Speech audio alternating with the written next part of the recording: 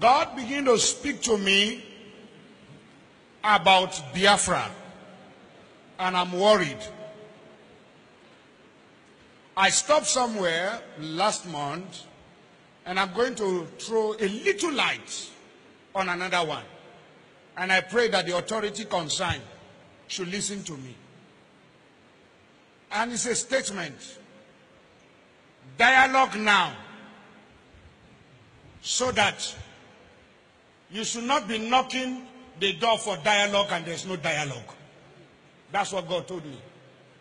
I keep saying it. I said there is a spirit in this young man.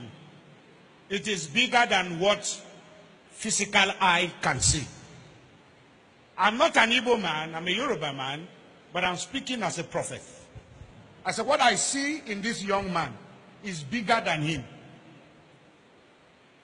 You see, the man, the small boy that they call him, what is inside him is bigger. It's not just an ideology, it's bigger. I said, I see an animal. Which animal did I told you last time? Huh? I said what? A what? A what? A small puppy. And I say, I see a small puppy going forward. All of a sudden, I saw so many strange wild animals, lion, bear, great animals around the puppy. Then I saw the puppy look back and saw that the animals around him are so many. Suddenly the puppy, what I saw last month is different from what I'm seeing now. The puppy is developing some futures of wild animals. It ha- this prophetic word is not to the negative. It's very important. Take the Biafra agitation serious. Dialogue now. Because I see a time, doors are knocked, calls are made. People who are heady are saying we have come down, but these people are not willing to dialogue again. Redeeming the time, for the days are evil. Dialogue now.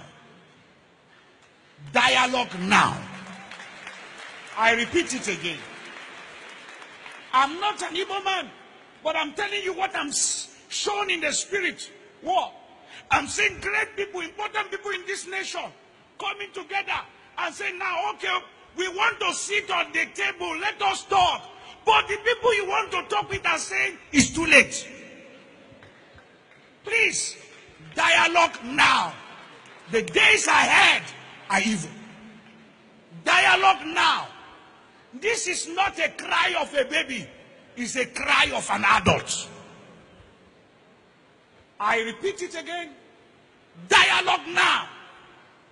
The Bible said, Blessed are the peacemaker, for they shall be called the children of God.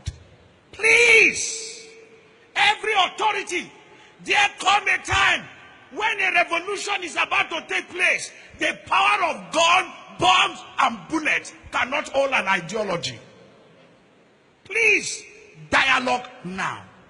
This is not the time of I have bullet, I have gun, I have bomb. This has nothing to do with bullet and bomb. If you know what I'm seeing in the realm of the spirit, everyone in federal authority should take the Biafra agitation serious. If you are once a founding father of this nation, sit down around the table and listen to your children. Dialogue now.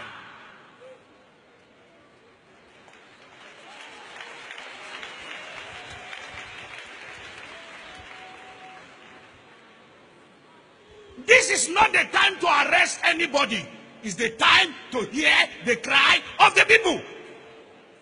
Dialogue now.